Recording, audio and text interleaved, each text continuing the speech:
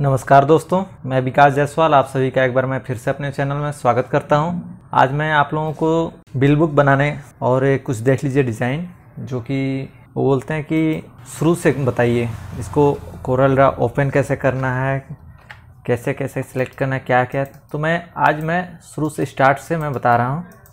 आप लोग देख सकते हैं हम कंप्यूटर स्क्रीन पे आ चुके हैं और मेरा एक कोरल ड्रा बारह ओपन हो रहा है। ये का, काफ़ी पुराना वर्जन है तो आप लोगों के पास इससे नए वर्जन भी होंगे तो उसमें भी काम करेगा जो सी डी आर मैं दूँगा।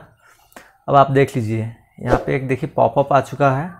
कोरल ड्रा ओपन तो हो चुका है मगर यहाँ पे पॉपअप है। यहाँ पे देखिए लिख रहा है न्यू यानी आप नया कुछ क्रिएट करने वाले हैं। तो इसके लिए और दूसरे मैं रिसेंटली मैं इससे पहले जो यूज़ किया हूँ तो मैं उसके बारे में देखा रहा है कि आप यहाँ से कुछ सिलेक्ट कर सकते हैं। और ये तीसरे नंबर पे है ओपन तो आप जो भी फ़ाइल सेव करके रखे हैं, आप यहाँ से ढूंढ करके ओपन कर सकते हैं। तो चलिए हम कुछ नया क्रिएट करने वाले हैं। तो नया पेज सिलेक्ट कर लिया। ये देखिए हमारा ए फोर सिलेक्ट हुआ है। शुरू से हम लोग सीखते हैं। पहले मैं इसका साइज़ जो एम mm में है, मैं इसको इंच में कर देता हूँ।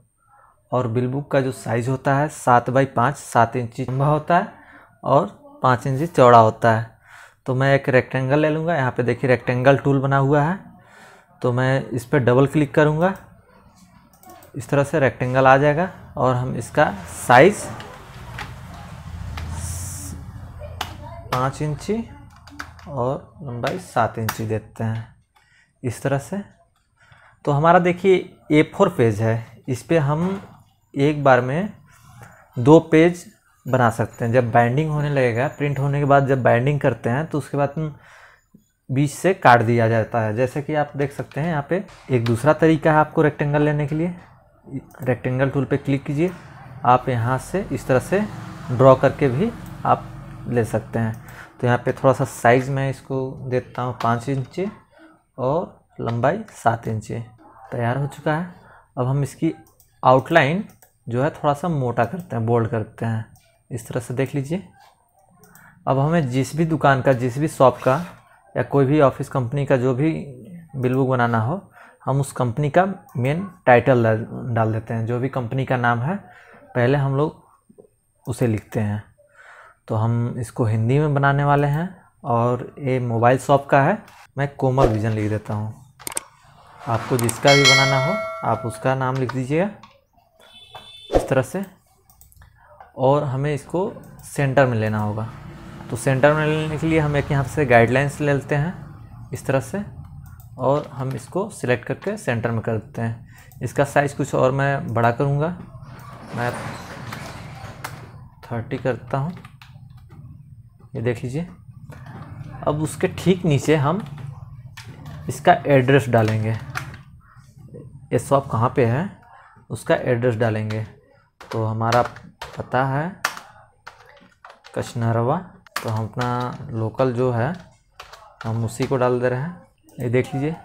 इसमें हम दो फॉन्ट यूज़ करने वाले हैं। एक तो राज फॉन्ट है और एक भारतीय फॉन्ट का, जो बयासी नंबर का है एट्टी टू हम उसे यूज़ करेंगे।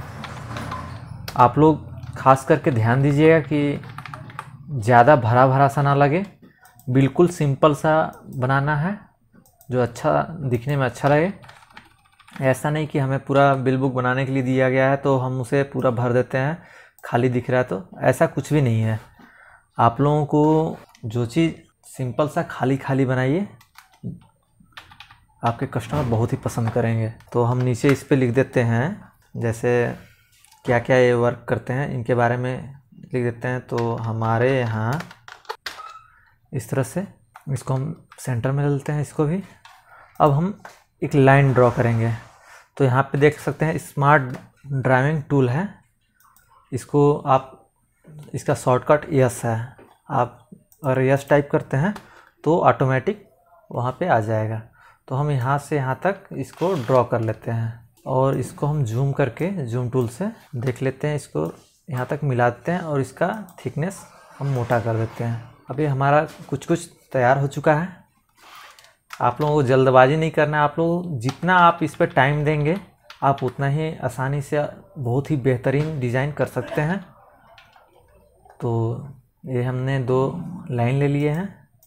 अब हम इसी को कॉपी करेंगे। जो टेक्स्ट है, हम इसको प्लस की से कॉपी कर लेंगे। एक बार प्लस की दबाएँगे तो उसका कॉपी हो जाएगा।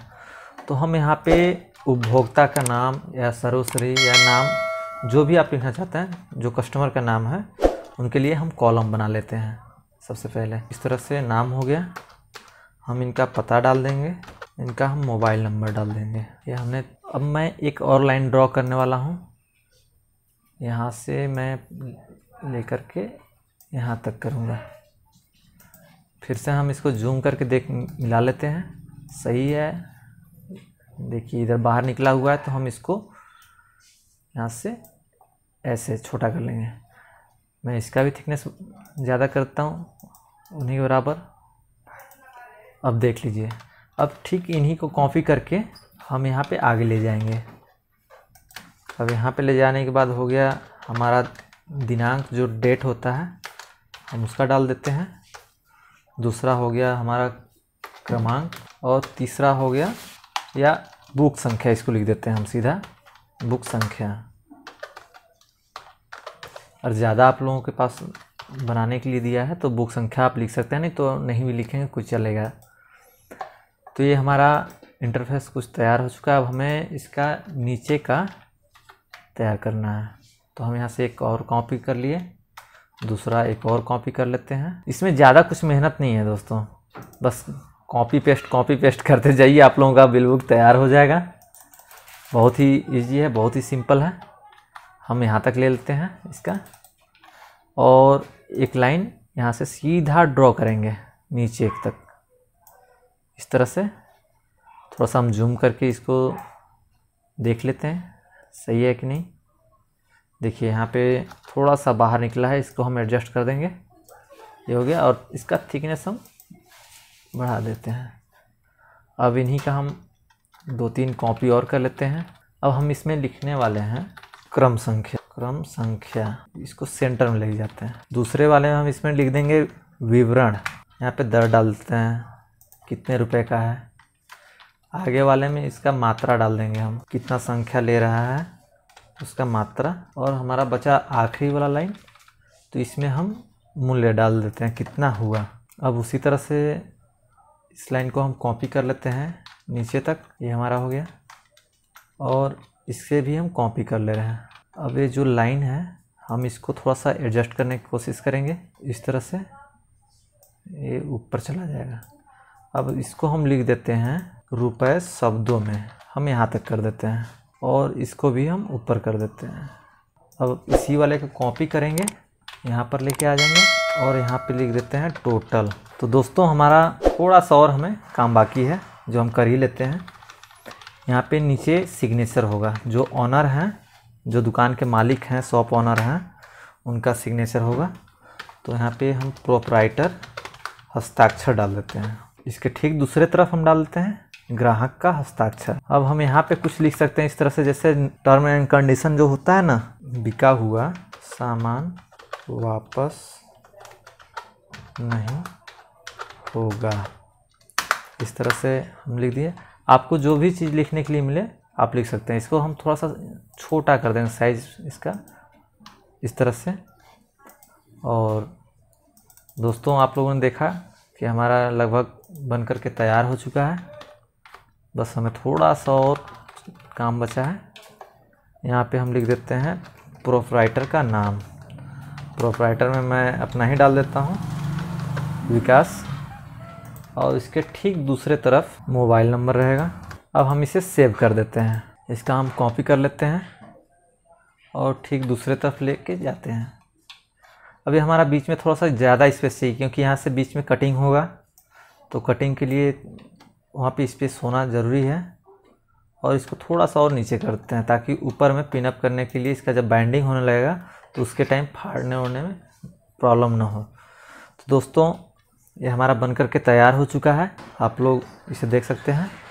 अगर आप लोगों को वीडियो पसंद आया होगा तो आप इसे लाइक कीजिए, शेयर कीजिए, और हमारे चैनल को सब्सक्राइब ज़रूर कीजिएगा। तो मिलते हैं आप लोगों से अगली वीडियो में। तब तक के लिए गुड बाय।